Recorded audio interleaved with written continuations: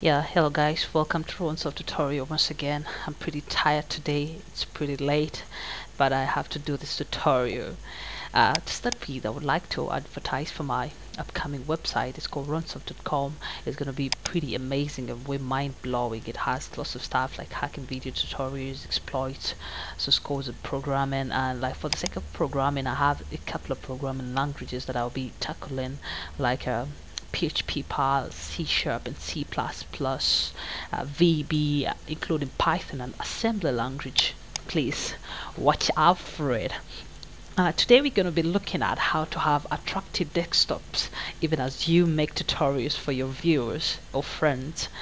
Uh, just like these this kind of flashing stuff you know it reminds me of those movies that we used to watch and uh, uh, we look at these guys having screens all over the room and then uh, it's flashing all over the screens and you can't know actually what's going on. So even in this tutorial this is uh, so this it flashes like terminal connecting to port 33 and it's like it's writing down tick, tick, tick. so actually uh, there's no secret behind this. The only thing that I had to do was behind a GIF image. And uh, oh come on. Let me just lock this sorry. Um, let's preview this you see this it says connecting terminal connecting to port 23 username Ronnie password dash dash dash dash dash. So actually the secret behind this is a GIF. I can use a GIF to make any animation that I want then I can just uh, put it onto my desktop. But how am I gonna do that? I thought about this greatly when I was trying to uh, actually trying to figure out a way how I can fix my videos to be my backgrounds and I realized that uh, in Windows actually I can do it with uh, the help of HTML HTML embedding HTML let's just go and have a look at what we're saying. Let's just make the basic HTML body HTML skeleton. Let's just build up a skeleton for ourselves sorry. I have my head. Then I have my just take it right here on my my title I'll call this this desktop desktop card right? Then I'll, I'll have to close it I'll have to close this sorry. Mm, okay. Then I just go to the end. Oh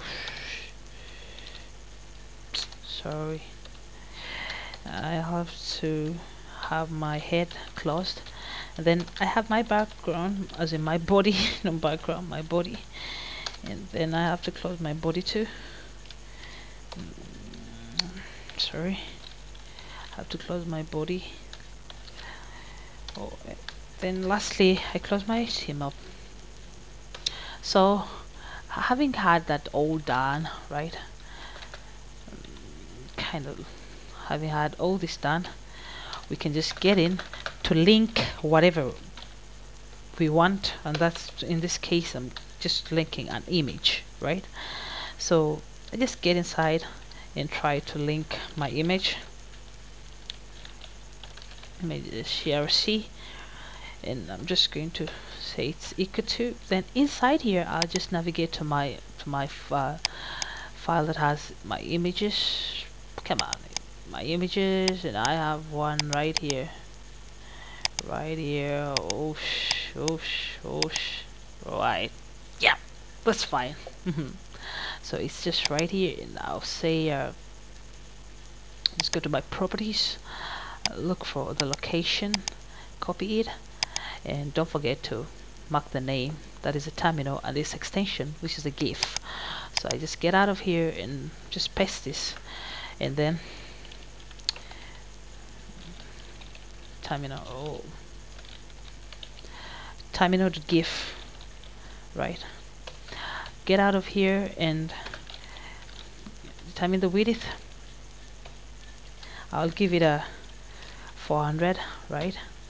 And then the height my height I'll just give this guy how much? Say uh 200 right. Then just get out of here and save this alright but looking at all this I just know my my image is going to come out with a white background.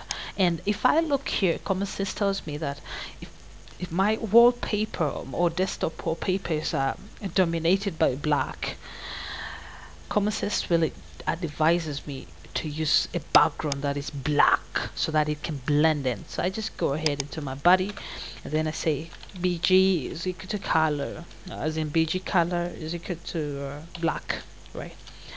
And that's my black will be the triple O triple O right? Then save it and um, yep I think you're ready to go ready to rumble. And if I'm to, uh, to take these check it out in my web browser. It will look just like that. So we go ahead and try to embed it inside our desktop. I go to desktop customize and um, web and I go to new. For your case I'll go to new and then browse and locate wherever you've locate oh, you've uh, saved your file. For my case is mm, top at the desktop. I open and then I click OK but I already have it because it's the one that's running right here. So I say I just say no uh, it's just ticked in here. I just want to demonstrate something for you. Uh, apply and then click OK. So you see it looks amazing but once somebody just comes to, to uh, if I the, your mouse goes over it it will put this weird highlighting that will make things look so fishy. So how am I gonna eradicate that? I just go back to properties and select desktop uh, then property uh, customize web and then lock desktop items okay apply right? So so that it's not bothered so guys I think this will be really so interesting for you to do. You can just try it out with a more advanced features. Mostly I advise you to use a JavaScript.